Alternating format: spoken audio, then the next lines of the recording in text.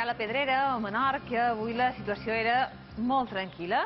A mig matí el cel ja estava destapat, eh, només amb qualque nígol prim, i la temperatura molt suau. 22 graus de màxima fins ara, però amb un 70% d'humitat. El vent ha bufat durant el matí, molt fluix i de llevant. I així teníem el cel de Sant Elm amb alguns nígols baixos, també presència d'aquests nígols alts que deixaven el cel enterbolit.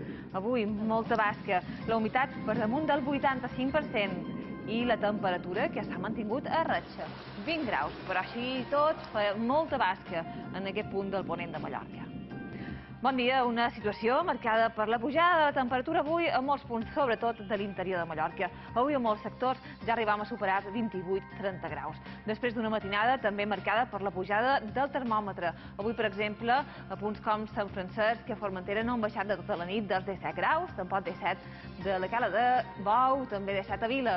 I cap a Mallorca, temperatura molt suau, per exemple, avui cap a la zona de Palma, 17 graus, 16 a la mínima de Solla, 15 a Montuïri, 13 a Artà, però de les temperatures avui més altes, pel que fa a mínimes, ha estat la de Maó, avui de tota la nit, no han baixat dels 18 graus, 16 a Ciutadella o també 16 en Es Mercadal. Tot això després d'una matinada marcada per la presència de nígols baixos, nígols que deixaven el cel molt enterbolit, molt mala visibilitat, com podem observar en aquesta imatge de primeres hores de Cala Millor. S'ha pogut observar avui la sortida de sol.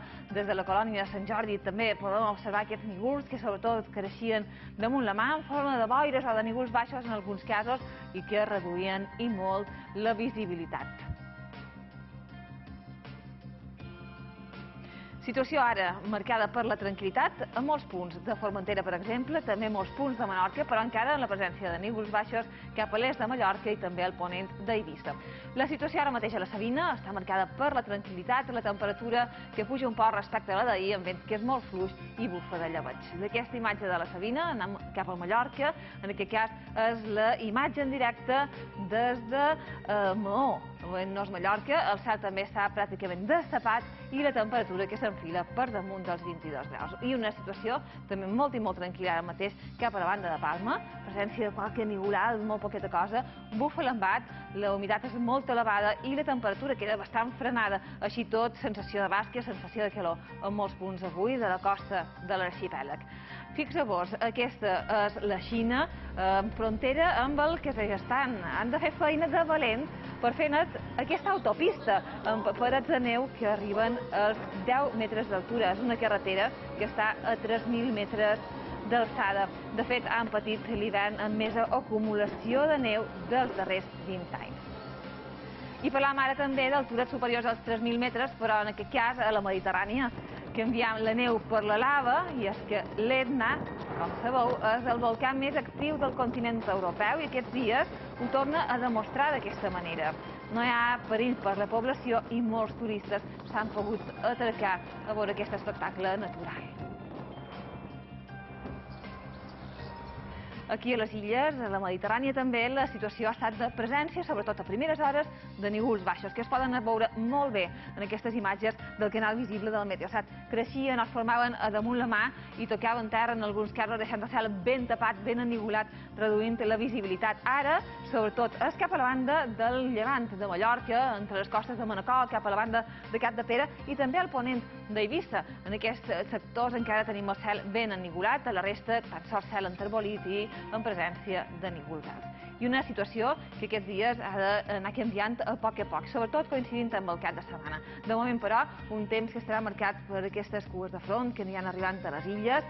A partir, però, de dissabte migdia començarà a canviar la situació, ja amb arribada diumenge d'aire més fred. Farà baixar la temperatura i ho notarem ben molt a partir, però, de diumenge matí.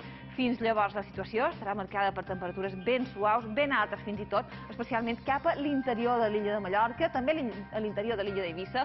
En aquests dos sectors superarem els 27, fins i tot 30-31 graus. En aquest cas, cap a la costa, avui temperatures entre els 22 i 24 graus, vent una altra vegada ben fluix i una situació de temperatures que estarà marcat eh, per l'estabilitat. També per demà, un temps que estarà dominat per l'estabilitat a punts de Menorca.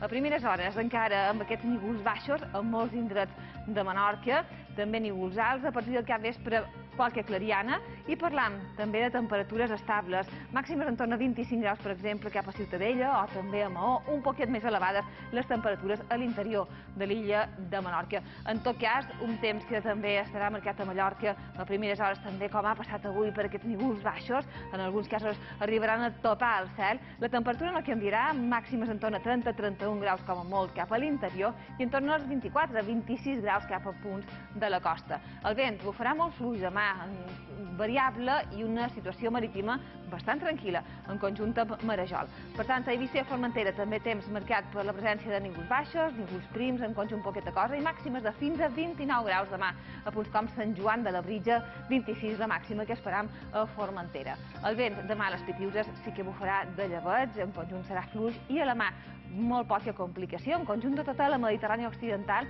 demà estarà marcada per Marejol, qualque sector de Maró, cap a la zona del llevant de les illes. Poqueta cosa. De moment, una situació per aquest cap de setmana, marcada, com dèiem, pel canvis.